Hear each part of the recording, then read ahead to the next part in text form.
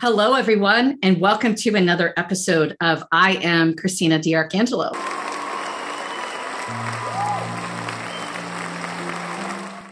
And with me is a wonderful guest from across the pond, all the way from the UK, Lucy Gilmour. Thank you, Lucy, for joining me today. How are you? Hi, Christina. Yeah, thank you. Thank you for having me on the show, first of all. And um, yeah, I'm very well. Thank you.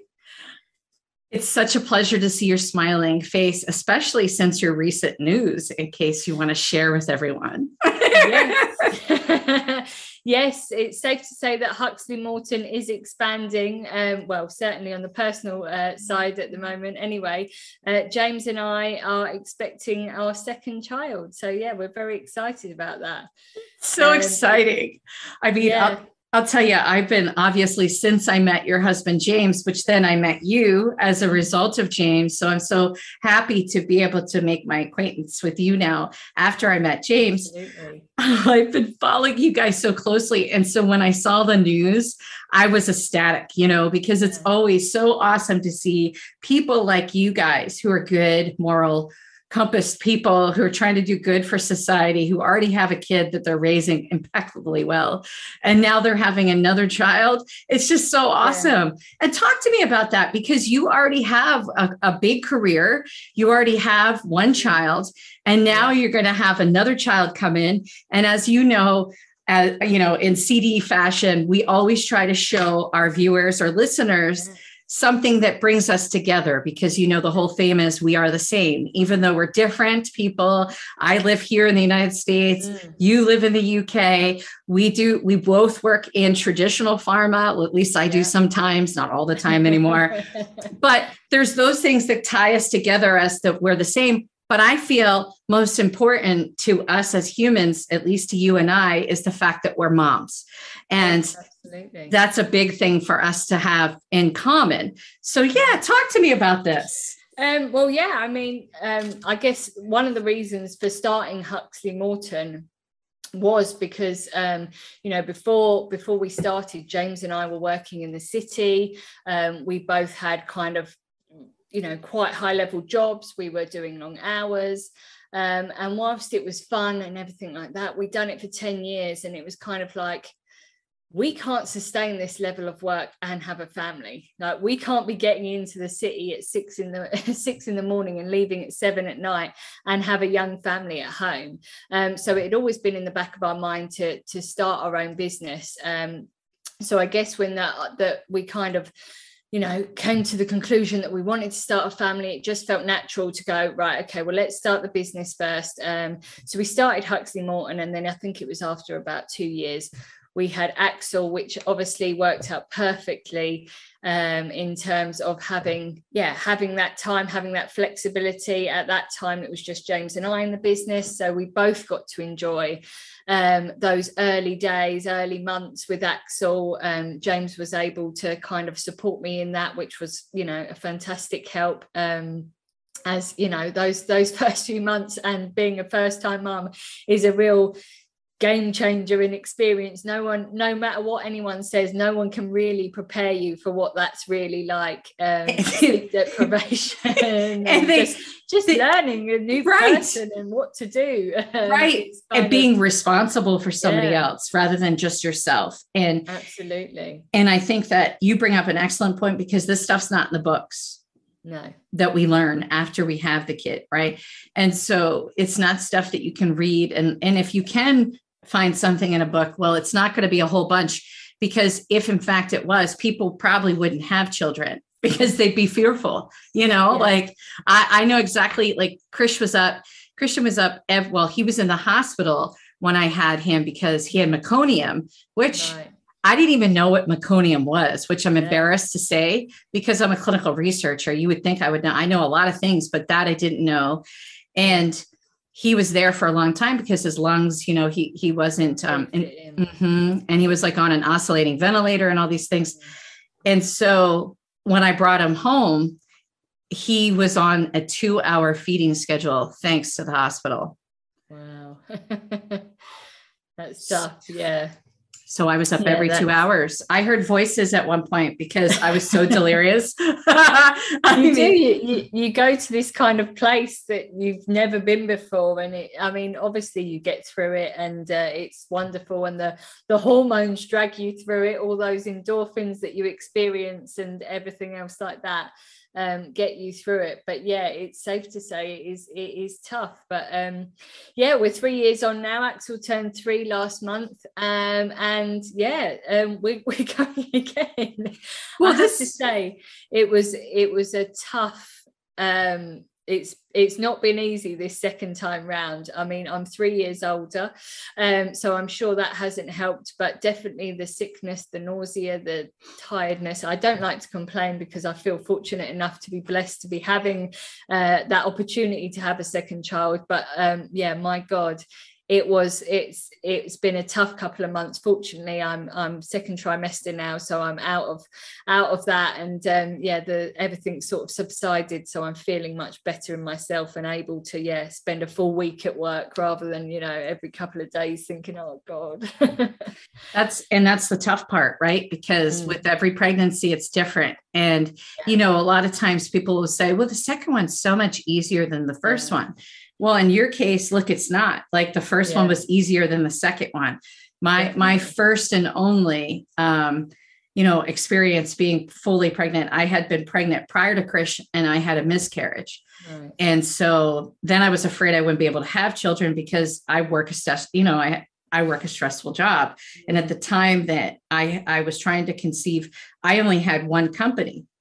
Um, so um, all, the other stuff didn't happen until after my son came. So um, when I was able to have Krish, I was sick the whole time, the whole pregnancy. I only gained 25 pounds because I was throwing up all the time. Gosh, I wouldn't I wouldn't wish that upon anyone to be experiencing it for that length of time because yeah, you're kind of sitting unlike a unlike a I guess a, a cold or when you feel ill when you get um yeah a cold or something like that, you kind of know it's going to last a week and then you know I'll be out of it. But but in pregnancy, you just don't know how long is this going to last. Am I going to feel like this for the whole whole term? Is it going to go after a couple of weeks? And it, it can it can really play havoc with your mental health. I noticed I definitely had a decline in my mental health for that sort of first couple of weeks when I was feeling really rough. That sort of six to eight weeks time, I was yeah, I was I was not in a happy place at all. But yeah, fortunately, I managed to kind of pick myself up, and that didn't turn into anything sort of long term.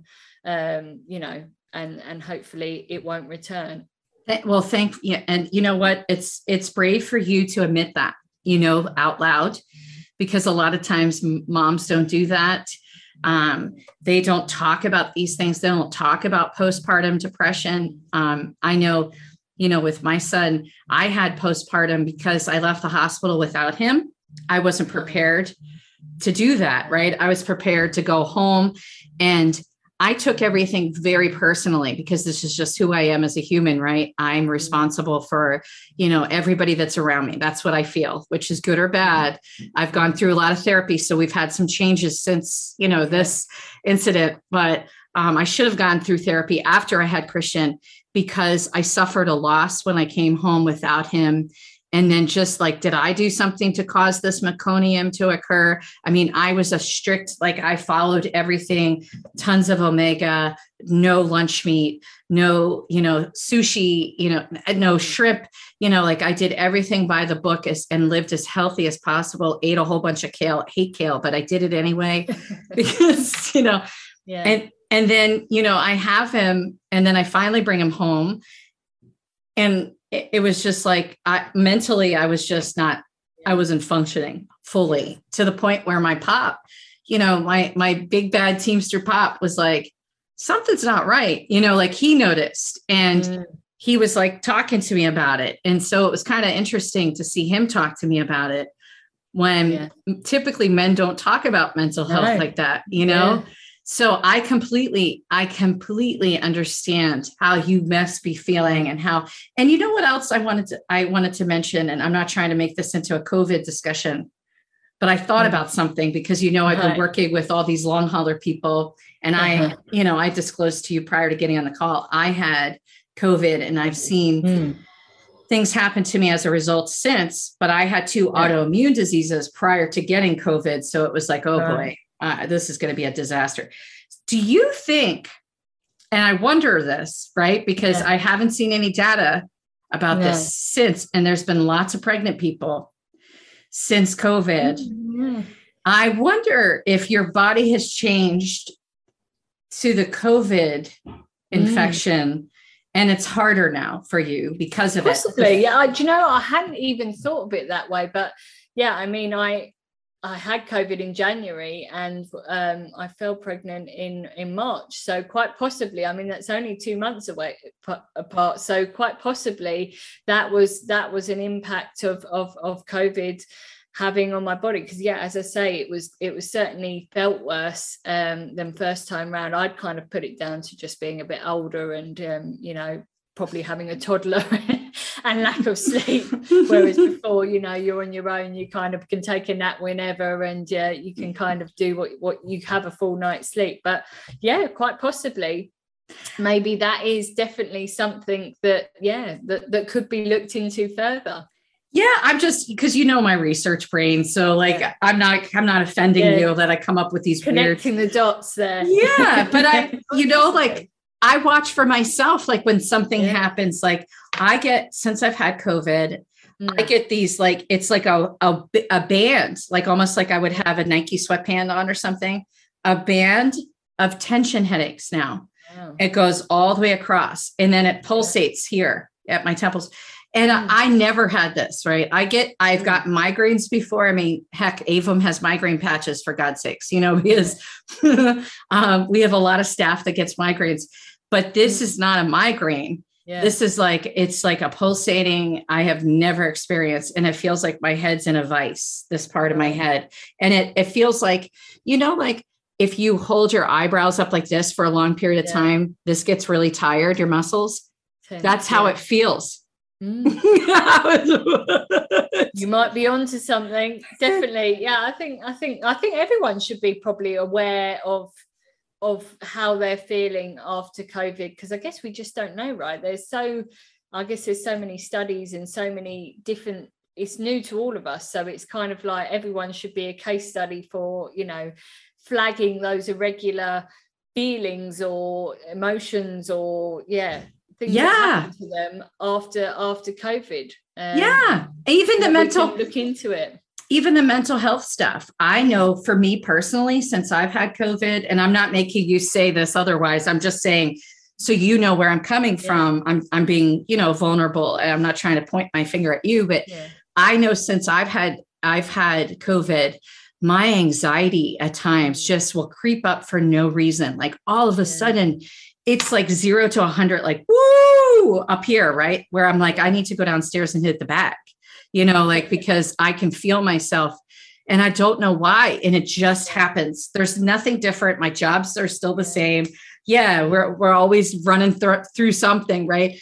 Business isn't easy being an entrepreneur and a woman in business either, but it, I've noticed though that my anxiety is worse. So I I wonder if you know when you said you were feeling a little more mm, yeah. down because yeah, you were sick i wonder if again if that is attributed to the fact that there is there is literature out there that says people who've had covid suffer from anxiety worse now than they did before.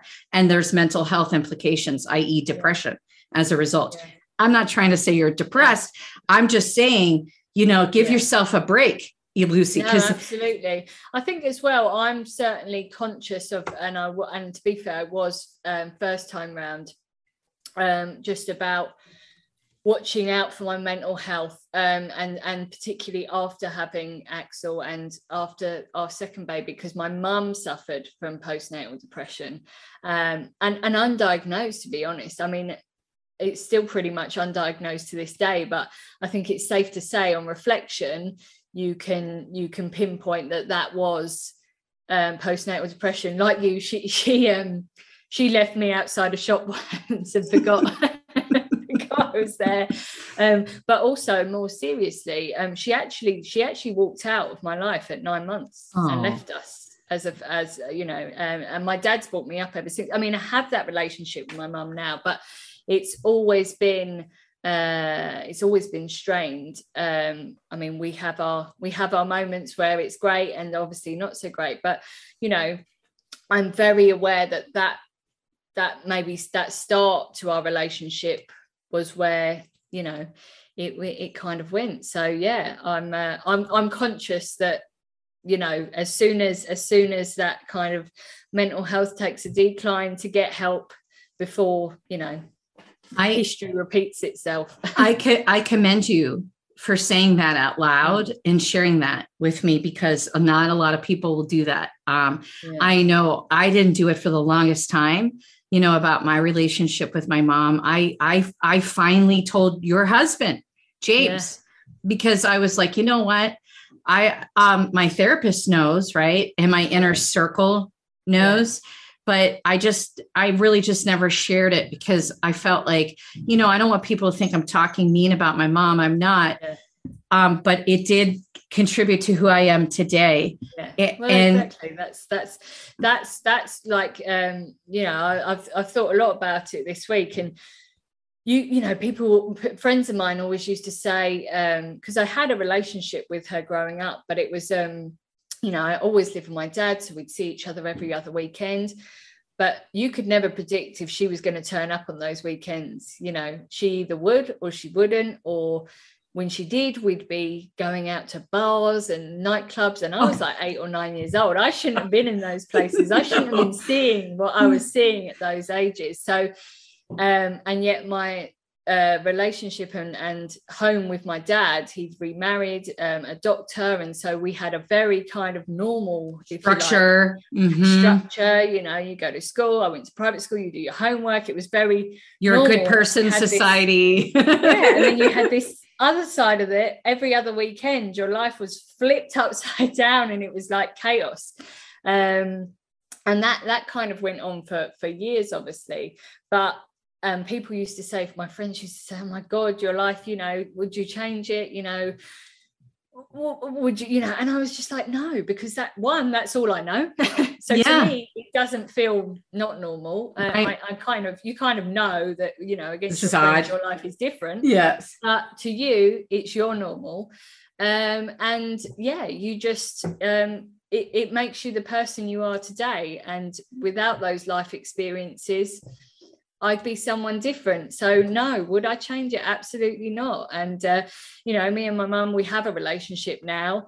Um, you know, we talk and, and and we go out. It's probably not your traditional mum daughter relationship that a lot of people have, but there's a relationship there. So, right. you know, we we've got through it effectively. It's, it's okay though. That's your relationship. Yeah. That's not up to other people to judge. It, my mom and my relationship yeah. is not. I'm more mm. like the maternal person. I mm-hmm. kind of feel like you're that way with your mom, where you're exactly. more the maternal yeah. versus the child, and that's difficult for us. But you know what? At the end of the day, it's made us the moms we are today. And look at the awesome mom you are to Axel and the mom you're going to be to the next baby that's coming, you know, up behind him. Yeah. So it's it's so like although it was a negative experience, I mean, there's been a lot you you you you've had a lot of negativity. Yeah.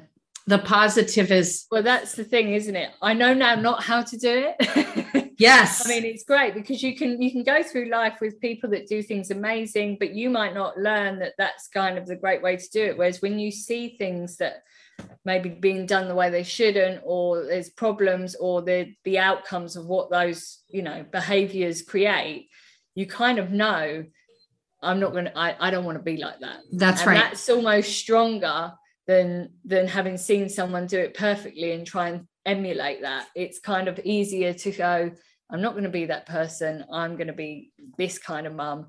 Um and so for me i mean my whole world is axel and James and you know the new baby will be part of that. So yeah completely different different people but um I wouldn't I wouldn't yeah as I say change that experience because it's it, as I say it's made me the mom I am today and the person I am today I love that. Well, thank you so much for sharing this with us. And obviously, you and I could talk forever about about this topic and Absolutely. lots of other things that we have in common. But I want to thank you for coming on and talking to me about this. This is not where we expected this the podcast to go, right? We we didn't script it. We just, you know, we talked at the beginning, yeah. but we talked about some of this stuff. So it kind of just mm. organically infused, I think. And that's I that's one of the things I love about my podcast is that, you know, I come in and I know certain things I want to talk to the guest about because yeah. again, where we align as humans is really important for yeah. me to demonstrate